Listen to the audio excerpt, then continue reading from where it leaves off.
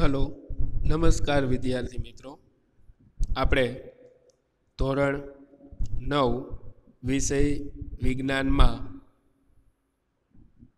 પ્રકરણ ચૌદ નૈસર્ગિક સ્ત્રોતોમાં અગાઉના લેક્ચરની અંદર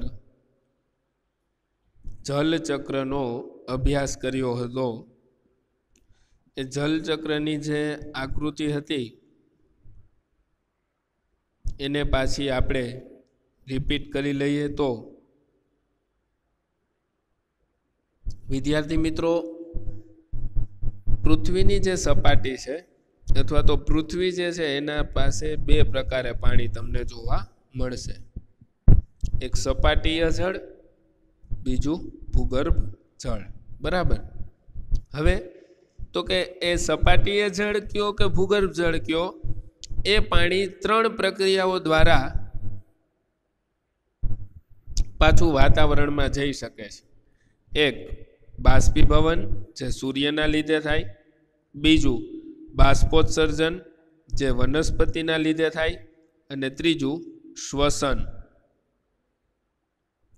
જે આપણે પ્રાણીઓના લીધે થાય છે. બરાબર? હવે ત્રણ પ્રક્રિયાઓના કારણોસર પાણી છે વરાળના સ્વરૂપમાં વાતાવરણમાં જતું રહે છે. ત્યારબાદ એક એવી પ્રક્રિયા છે જે એ પાણીને ફરી પાછું જમીન પર એટલે કે પૃથ્વી પર લઈ આવે છે. આ પ્રક્રિયા એટલે વરસાદ. વરસાદના લીધે પાણી છે એ જમીન પર પાછું ફરે છે. આ રીતે જલચક્ર ચાલતું રહે છે. ઉપરાંત આપણે એક અગત્યની બાબત શીખ્યા કે પાણીમાં ઘણા બધા પદાર્થો ઓગળી શકે છે. એટલે પાણીને ઉત્તમ દ્રાવક તરીકે ઓળખવામાં આવે છે. હવે એ જે ઉત્તમ દ્રાવક છે ને, એ પાણી શા માટે ઓળખાય? તો કે એમાં ઘણા બધા પદાર્થો ઓગળી શકે છે એટલા માટે.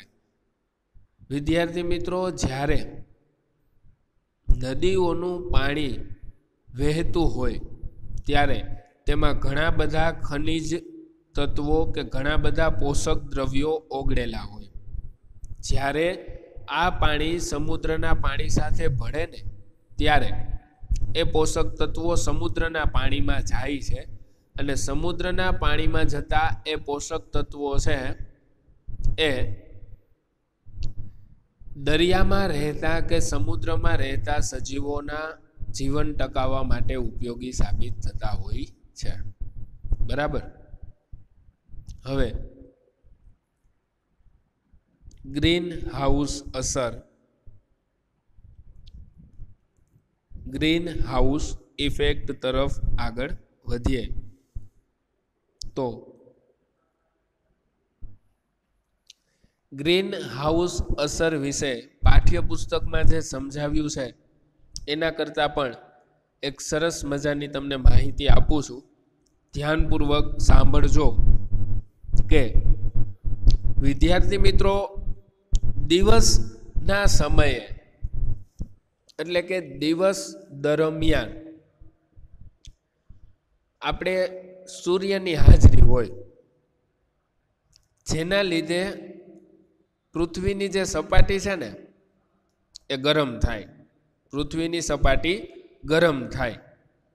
એટલે કે પૃથ્વી પરનું તાપમાન વધે. પૃથ્વી પરનું તાપમાન જે છે એમાં વધારો થાય. બરાબર ને? એટલા માટે જ તો જ્યારે ઉનાળાના દિવસો હોય, વધારે પડતી ગરમી હોય, તો આપણે ખુલ્લા પગે જમીન પર ચાલી પણ નથી શકતા. કારણ કે જમીન જે છે, એ સૂર્યના તાપથી ગરમ થાય છે. એટલે દિવસ દરમિયાન પૃથ્વીની સપાટી છે, એનું તાપમાન વધતું હોય ગરમ થવાને લીધે. બરાબર? હવે, જ્યારે દિવસ પૂરો થઈ જાય, સૂર્ય આથમી જાય, રાત્રિનો સમય આવી ગયો હોય, તો એવા રાત્રિના સમયે જમીન જે છે, એ ઠંડી પડતી હોય છે. જમીન ઠંડી પડતી હોય છે. એટલે કે જમીનમાંથી એ ગરમી છે ને, જે દિવસ દરમિયાન આવી હતી, એ ગરમી વરાળના સ્વરૂપે પાછી વાતાવરણમાં જ- જતી હોય. તો જ્યારે આ ગરમી વાતાવરણમાં જતી હોય ને વિદ્યાર્થી મિત્રો, ત્યારે જો બધી જ ગરમી વાતાવરણમાં જતી રહે ને, તો પૃથ્વી ઉપર રાત્રિના સમયે ઠંડીનું પ્રમાણ અતિશય વધી જાય. પણ બધી જ ગરમી છે ને, એ નથી જતી. અમુક ગરમી છે, અમુક ગરમીની વરાળ છે ને, એ વરાળ આપણા વાતાવરણમાં રહેલા અમુક વાયુઓ છે, કાર્બન ડાયોક્સાઇડ છે સીએફસી છે, તો એ કાર્બન ડાયોક્સાઇડ અને સીએફસી જેવા વાયુઓના લીધે આપણે જે ગરમી છે ને, એ બધી અવકાશમાં જતા રહેવાને બદલે અમુક ગરમી પૃથ્વી પર પાછી ફરે છે. જેના લીધે પૃથ્વી પર સરેરાશ તાપમાન જળવાઈ રહે છે. સરેરાશ તાપમાન એટલે હું આખા વર્ષની વાત નથી કરતો. હું વાત કરું છું દિવસ અને રાત્રિના સમયની. કે જે વાયુઓ છે ને એના લીધે દિવસ દરમિયાન ગરમી વધી જતી નથી અને રાત્રિના સમયે ઠંડી વધી જતી નથી. એટલે કે ગરમી ઓછી થઈ જતી નથી. તો આ પ્રકારની જે અસર છે ને વિદ્યાર્થી મિત્રો, એને ગ્રીન હાઉસ અસર તરીકે ઓળખવામાં આવે છે. ટૂંકમાં કહું ને તમને, તો યોગ્ય ગરમી અથવા યોગ્ય તાપમાન જળવાઈ રહેવાની અસર એટલે ગ્રીન હાઉસ અસર. યોગ્ય ગરમી અથવા યોગ્ય તાપમાન જળવાઈ રહેવાની અસર એટલે ગ્રીન હાઉસ અસર. બરાબર? તો તમે સમજી શકો છો વિદ્યાર્થી મિત્રો કે કાર્બન ડાયોક્સાઇડ વાયુ એ વાતાવરણમાં અગત્યનો છે. કારણ કે એ કાર્બન ડાયોક્સાઇડ વાયુ વાતાવરણમાં યોગ્ય ગરમીને જાળવી રાખે છે. યોગ્ય તાપમાનને જાળવી રાખે છે. નહીતર એવું થાય કે દિવસ દરમિયાન તો ગરમી હોય, પણ જ્યારે રાત્રિનો સમય હોય, સૂર્ય ગેરહાજર હોય, સૂર્ય ન હોય, એવા સમયે પૃથ્વી પરનું તાપમાન છે ને, એ અતિશય ઘટી જાય. કારણ કે પૃથ્વીમાંથી બધી ગરમી વરાળના સ્વરૂપે ધીમે ધીમે વાતાવરણમાં જતી રહે. અને વાતાવરણમાંથી બહાર નીકળીને અવકાશમાં વહી જાય. વાતાવરણમાંથી ગરમી બહાર નીકળીને અવકાશમાં વહી જાય. પણ કાર્બન ડાયોક્સાઇડ સીએફસી વગેરે જેવા વાયુઓ છે ને સોરી સીએફસી નહીં આવે, કાર્બન ડાયોક્સાઇડ જેવા વાયુઓ છે ને, એ વાયુઓ એ ગરમીને અમુક પ્રમાણમાં ઉપર જવા દે છે, પણ અમુક પ્રમાણમાં એ ગરમીને રોકી રાખે છે. એટલે એ જરૂર પૂરતી ગરમી રોકી રાખે. જેથી પૃથ્વીનું દિવસ દરમિયાનનું અને રાત્રિ દરમિયાનનું સરેરાશ તાપમાન જળવાઈ રહે. એને જ ગ્રીન હાઉસ અસર કહેવામાં આવે છે. બરાબર? તો આ થઈ ગ્રીન હાઉસ અસર. આકૃતિ દ્વારા સમજીએ થોડુંક કે આ પૃથ્વી છે. અહીંયા સૂર્ય છે. આ પૃથ્વીનું વાતાવરણ છે. હવે, સૂર્યમાંથી જે ગરમી આવે છે ને, આ ગરમીના બે કિરણો આવ્યા. તો એમાંથી એક કિરણ તો વાતાવરણના લીધે પાછું વહી જશે. પણ એક કિરણ છેક સુધી પહોંચ્યું. તો એના કારણે શું થશે? તો કે જમીન ગરમ થશે. બરાબર? એટલે દિવસે ગરમાવો જોવા મળશે સૂર્યની હાજરીના લીધે. કારણ કે જમીન ગરમ થઈ હોય. હવે? તો કે હવે માની લ્યો કે રાત્રિનો સમય છે. તો રાત્રિના સમયે વિદ્યાર્થી મિત્રો સૂર્ય નહીં હોય. તો રાત્રિના સમયે આ પૃથ્વીની સપાટી. પછી હવે આ જે લાઈન દેખાય છે એ વાતાવરણ. રાત્રિના સમયે જે ગરમી આવી હતી ને, એ ગરમી વરાળના સ્વરૂપે પાછી પૃથ્વી પરથી છે. એ ક્યાં જશે? તો કે એ ગરમી પાછી જશે વાતાવરણની અંદર. હવે વાતાવરણની અંદર એ ગરમી જશે ને, વિદ્યાર્થી મિત્રો, એમાં જો ત્રણ કિરણો દર્શાવ્યા છે, બરાબર? તો આ રીતે બે કિરણો માની લ્યો કે અવકાશમાં જતા રહ્યા. બે કિરણો ગરમીના અવકાશમાં જતા રહ્યા. પણ આ જે એક કિરણ છે ને, એ અમુક વાયુઓના લીધે અવકાશમાં જવાને બદલે પૃથ્વી પર પાછું આવશે. તમને પ્રશ્ન થાય, સર, ત્રણે ત્રણ કિરણો જતા રહ્યા હોત તો?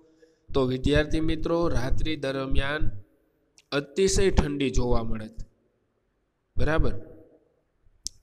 આ ત્રણ કિરણોમાંનું એક કિરણ જે છે, એ પૃથ્વી પર તમે જોઈ શકો છો પાછું આવ્યું.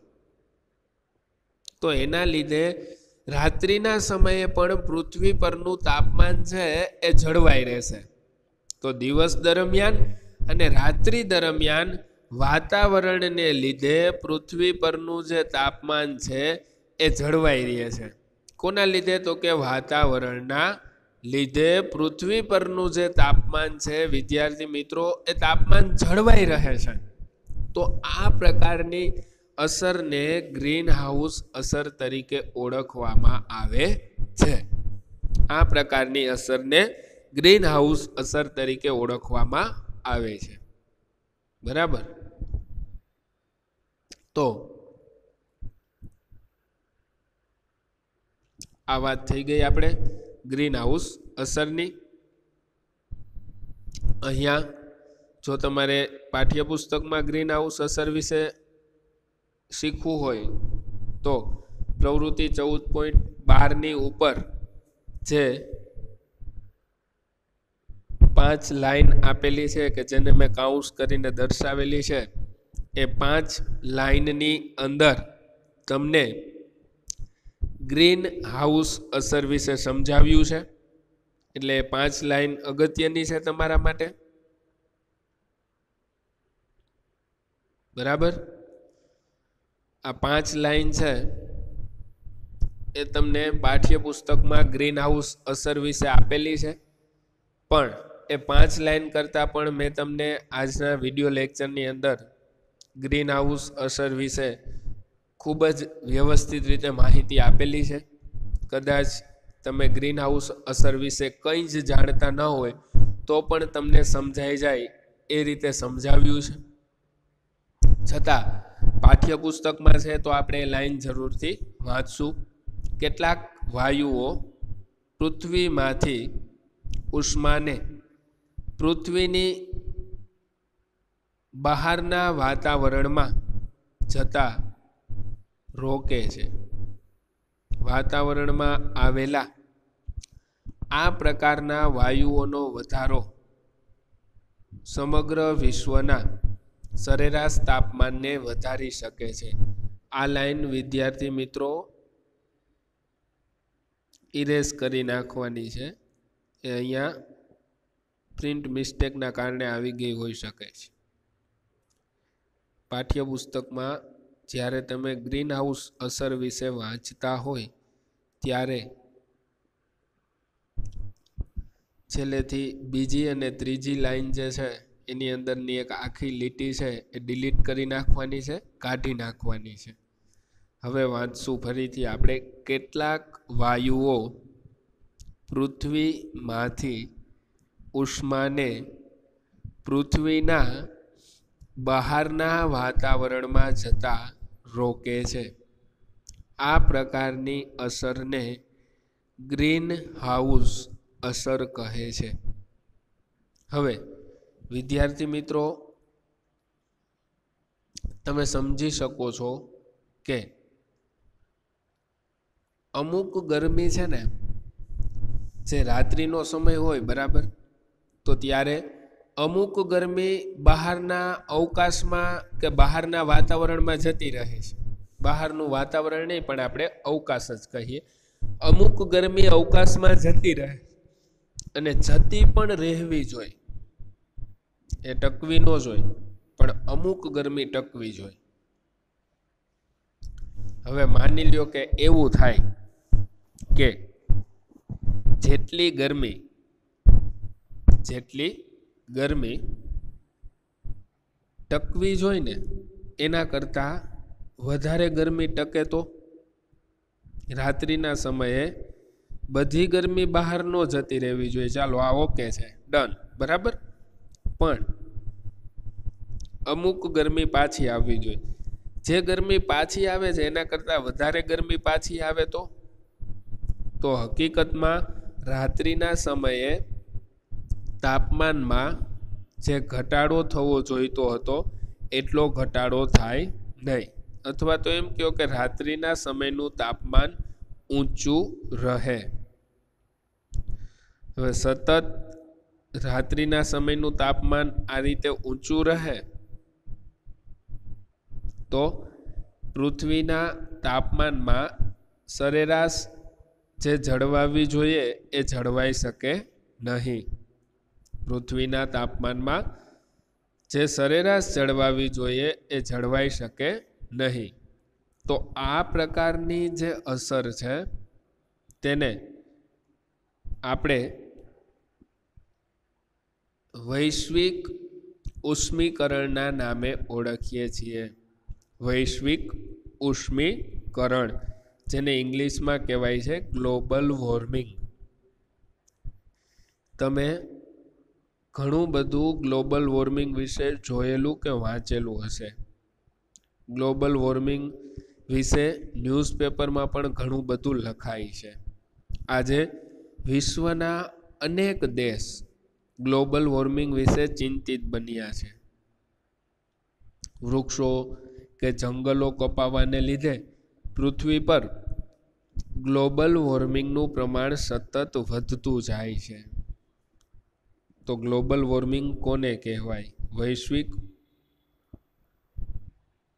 ઉષ્મીકરણ કોને કહેવાય? તો કે પૃથ્વીના સરેરાશ તાપમાનમાં વધારો થવાને ગ્લોબલ વોર્મિંગ કહે છે અથવા તો વૈશ્વિક ઉષ્મીકરણ કહે છે. પૃથ્વીના સરેરાશ તાપમાનમાં વધારો થવાને વૈશ્વિક ઉષ્મીકરણ કહે છે અથવા તો ગ્લોબલ વોર્મિંગ કહે છે. તો અહીંયા સરેરાશ તાપમાન ફરીથી એક વખત યાદ અપાવી દઉં વિદ્યાર્થી મિત્રો કે સરેરાશ તાપમાન તરીકે હું પૃથ્વીના દિવસ અને રાત્રિના સમયના તાપમાનની વાત કરું છું. બરાબર? તો દરરોજ આ પ્રકારે થાય કે રાત્રે જે ગરમી બહાર જવી જોઈએ એ જાય નહીં. દિવસે ગરમી આવે, ફરી પાછી રાત્રે જે ગરમી જવી જોઈએ એ બહાર જાય નહીં. તો પરિણામે શું થાય? પૃથ્વીનું તાપમાન સતત વધતું જાય. નહીતર હકીકતમાં કુદરતી રચના એવી છે કે દિવસ દરમિયાન સૂર્યના કારણે પૃથ્વી ગરમ થાય અને રાત્રિના સમયે અમુક ગરમી પાછી જતી રહે, જેથી પૃથ્વી થોડીક ફરી પાછી ઠંડી પડી જાય. અમુક ગરમી પૃથ્વી પાસે રહી જાય. બરાબર? બીજો દિવસ થાય, તો ફરી પાછી પૃથ્વી ગરમ થાય, જેટલી જરૂર હોય, પછી રાત્રિના સમયે જેટલી જરૂર હોય, એટલી ગરમી રહી જાય બાકીની ગરમી પાછી અવકાશમાં જતી રહે. પણ પ્રદૂષણ વૃક્ષોની કાપણી અથવા જંગલોની કાપણીના લીધે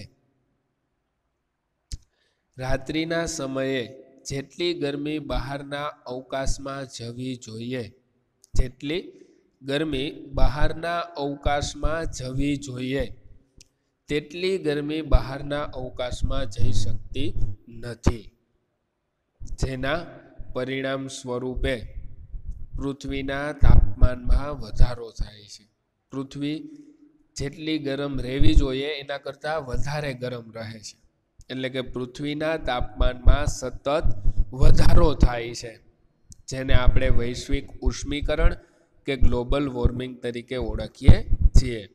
વિદ્યાર્થી મિત્રો, આ વૈશ્વિક ઉષ્મીકરણ કે ગ્લોબલ વોર્મિંગના ભવિષ્યમાં આપણે અનેક માઠા પરિણામો ભોગવવા પડે એવી પરિસ્થિતિ હાલમાં સર્જાઈ ચૂકી છે. એટલા માટે જ આ ગ્લોબલ વોર્મિંગને ઘટાડવા માટેના અનેક ઉપાયો વિશે હાલમાં વિચારવામાં આવી રહ્યું છે.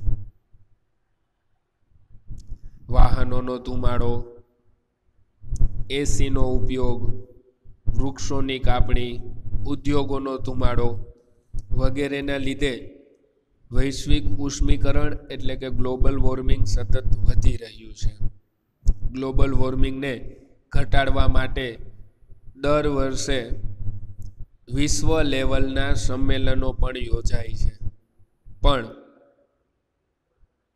આપણી દુર્દશા કહો કે જે કાંઈ પણ કહો જે સંમેલનો યોજાય છે, એ સંમેલનોમાં જેટલા પણ વ્યક્તિઓએ ભાગ લીધેલો હોય, એ દરેક વ્યક્તિને જે સવલત આપવામાં આવે છે, જે સુવિધા આપવામાં આવે છે, એ સુવિધામાં ટોટલી એસી એટલે કે એર કન્ડિશનનો સમાવેશ થાય છે. જ્યારે વાત ગ્લોબલ વોર્મિંગને ઘટાડવા માટેની થતી હોય તો એક ઉપાય એ પણ છે કે રેફ્રિજરેટર અને એસીનો ઉપયોગ ઘટાડવામાં આવે. અને આ ઉપયોગો કઈ રીતે ઘટાડવા? કઈ રીતે ગ્લોબલ વોર્મિંગ ઓછું કરવું? એના માટેની ચર્ચા માટે જે લોકો એકઠા થયા હોય, એ તો સતત સવારથી લઈ અને રાત્રે સૂઈ જાય તો પણ એસીવાળું જ વાતાવરણ મળી રહે એ પ્રકારની એ સંમેલનમાં વ્યવસ્થા ઊભી કરવામાં આવી હોય. વાત કરતા હોય, ગ્લોબલ વોર્મિંગને અટકાવવાની. પછી એવું નક્કી થાય કે એસીના કારણે હમણાં ગ્લોબલ વોર્મિંગ વધ્યું છે. એટલે એના ઉપર ટેક્સ વધારે. ગવર્મેન્ટને સૂચન કરે એ લોકો કે એસી ઉપરનો ટેક્સ વધારવો જોઈએ, જેથી લોકો એસી ન ખરીદે. એટલે થોડાક સમય પછી ગવર્મેન્ટ એનું સૂચન માન્ય રાખીને ટેક્સ વધારે. એટલે એસી કે રેફ્રિજરેટરના ભાવમાં વધારો આવે. હાલમાં ગ્લોબલ વોર્મિંગના ઘણા બધા માઠા પરિણામો સમગ્ર વિશ્વ તો ભોગવી જ રહ્યું છે, પણ સામાન્ય માણસને એના ઘણા બધા પરિણામો ભોગવવાના ભાગે આવ્યા છે.